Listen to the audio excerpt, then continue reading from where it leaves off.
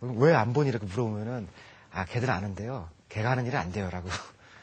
그러니까 20대도 20대를 지금 지지하기 어려우니까 어떻게 보면은 힘이 있는 기성세대가 좀 초청해서 할 수 있게 하는 그런 것들이 좀 많아졌으면 좋겠더라고요. 최근에 방송국에 이제 건의할 일이 생겨서 그러면 진짜로 20대 PD와 20대 작가가 만들고 20대들 초청해서 얘기하는 그런 프로를 좀 진짜 한번 만들어 봐라라고 이렇게 얘기를 하니까요. 하고는 싶은데 결정하실 분들이 50대예요. 근데 20대가 먼저 얘기를 하는 편이 부드러운 순리인데 20대가 지금 약간은 겁에 질려 있기도 하고 불신 같은 게 좀 있거든요.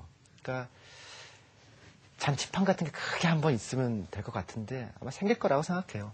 지금은 이제 그 갈등이 맨 앞에 와 있을 텐데 서로 문제가 있다는 걸 알기 시작하면은 사실은 좀 풀릴 수 있잖아요. 그, 그 네. 연애도 어, 싸움도 하면서 이렇게 깊어지는 거 아니에요. 한참 지금 냉전 중이라고 보시면 될 것 같은데요. 예. 뭐, 여러 가지 노력들이 사회 전반적으로 지금 필요한 상황이라는 느낌을 받습니다. 20대들은 결국 우리 사회를 이끌어갈 미래 사회의 그 주역 아니겠습니까? 네, 그렇죠. 그들에게 어떤 그 길을 심어주고 또 용기를 북돋아주기 위한 그 무엇도 필요할 것 같은데 이런 부분에 관한 노력은 뭐 지금 쭉 말씀하셨습니다만 좀 더 구체적으로 어떤 방식으로 정부가 또 사회가 또 기성, 기성세대가 해야 한다고 보십니까? 결국 이제 경제는 뭐 어떻게 말을 하든지 간에 돈 문제거든요.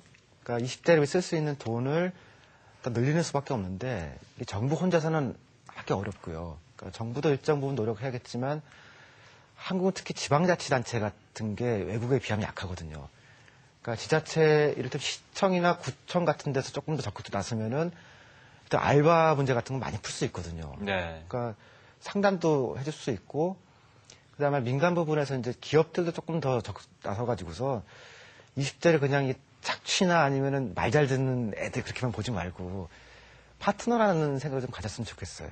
그, 조금씩 조금씩 바꿔야겠지만 결국은 20대한테 할당된 어떤 사회적 의미의 돈, 기금이 될 수도 있고 정부 예산이 될 수도 있는데요.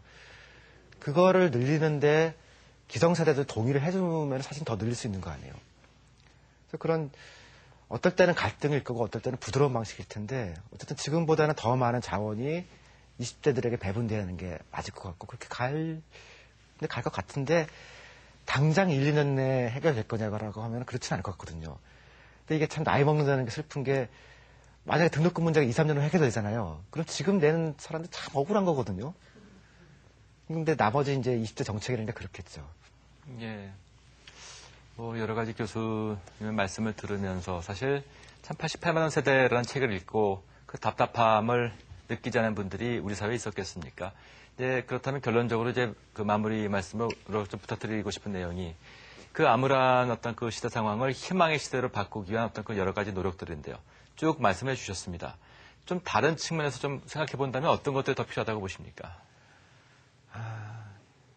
근데 이것도 진짜 하나만한 얘기인데 결국 이제 용기하고 창의성 두 가지가 지금 없어진 거거든요. 근데 이게 참 가지라고 해서 가질 수 있는 것도 아니라서 근데 어떻게 가능할지 모르지만 본인이 좀 더 창의적이려고 생각하다 보면은 우리 전체가 창의적이 되는 거 아니겠어요. 네. 그리고 본인이 용기를 가지려고 하면 우리 모두가 용기로워지는 사회가 되는 거거든요. 그런 점에서는 어, 너무 희망만을 얘기하는 것도 아닌 것 같고 너무 겁만 주는 것도 아닌 것 같고 그러니까 적절한 선에서 용기와 격려와 질타 그런 게 다 많이 있으면 좋겠거든요. 네. 그게 그걸 다 우리 대화라고 하잖아요. 대화가 꼭 이렇게 좋은 얘기만 있는 건 아니거든요. 그러니까 결국 대화하고 떠들고 수다스럽게 하는 그런 게 필요한 것 같아요. 근데 선진국이 보면은 수다스러운 사람들이 많은 게 선진국이거든요. 예. 근데 우리나라가 특징이 보면요. 특히 남자들은 하나도 안 수다스럽고 이렇게 입꼭 다물고 거 멋있게 생각하잖아요. 근데 지금 20대도 그러니까 우리 시간이 많이 지나면은 수다스러운 사람들이 나올 거라 생각했는데 지금 20대 입꼭 다물고 있거든요. 그 어른들은 원래 꼭 다물었던 사람들은 꼭 다물고 있잖아요.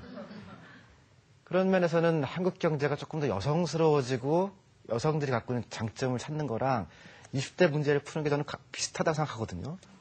수다 많이 풀다 보면은 오해도 풀리고 답도 나올 것 같아요.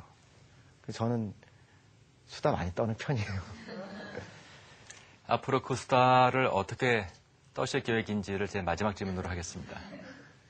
어, 지금 이제 쓰고 있는 책이 12권으로 되어 있는, 그러니까 저는 이제 대장정 시리즈라고 부르거든요. 네. 거기 이제 첫 권, 1권이 이제 88만 세대였던 건데 지금 이제 9권째 쓰는 중이에요. 그래서 12권까지 끝내고 나면은 저는 좀 쉬고 싶은데요. 그러니까 어떤 면에서는 이제 나머지 삶을 저는 이제 중요하게 생각하는 게 다음 세대. 이건 사실 생태적 관점이거든요. 그런 생각이 하나가 있고 농업에 대한 생각이 좀 있거든요. 그래서 예. 농업을 어떻게 하면 살릴 수 있을까에 대한 고민을 좀 하면서 안 팔릴 게 뻔하지만 이렇게 시 쓰면서 살면 굉장히 좋을 거라고 생각을 하고 있는데 물어보니까 요즘은 시집은 안- 출간 안 한다고 그러더라고요. 그래서 아, 시를 아무도 안 읽으니까 시집 출간할 수가 없대요. 그래도 시 쓰면서 살면 좋을 것 같다라고 생각하고 있죠. 혹시 최근에 떠오른 시상이 있으십니까? 음, 약간 정치적인 건데 지금 시대를 좀 이렇게 그러니까 제가 살았던 요 시대를 그려보는 서사시 같은 그러니까 장편시 같은 거 좀 써보고 싶거든요. 네. 한 120여년짜리 이런 거. 그러면은 고전적이긴 한데 원래 한국은 그랬잖아요. 그 조선이란 나라는 공부를 많이 하면은 시를 쓰는 게 끝이었잖아요. 그러니까 학자가 시를 쓰는 그런 사회가 되면 좋겠다라는 생각을 좀 갖고 있어요. 예, 오늘 말씀 고맙습니다. 네, EBS 교육초대석. 오늘은 88만 원 세대의 저자 우석근 박사를 모시고 말씀 나눴습니다. 20대는 우리 미래의 모습이기도 하겠죠. 88만 원 세대라고 하는 암울한 단어가 우리 희망의 보고서를 내는 20대를 바꾸길 바라면서 오늘 이 시간 마치겠습니다. 저는 다음 시간에 뵙겠습니다. 안녕히 계십시오.